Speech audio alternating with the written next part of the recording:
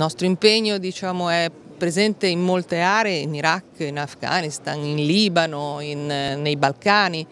Adesso nell'ambito di una solidarietà che c'è nell'alleanza avremo anche una compagnia, quindi un numero ridotto non è nostra responsabilità, saremo sotto un comando canadese, ma avremo anche una compagnia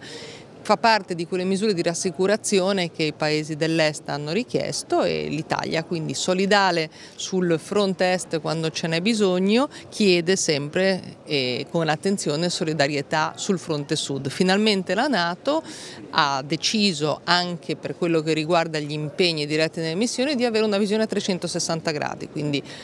una missione di sicurezza navale presente nel Mediterraneo sarà una missione Nato che risponde a delle esigenze che ha posto l'Italia.